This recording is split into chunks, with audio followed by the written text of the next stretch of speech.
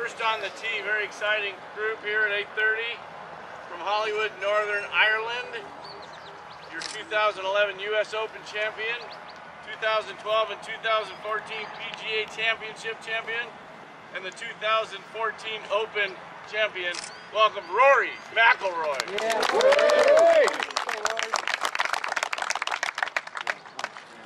I'm nervous. I haven't played in front of people in like a year.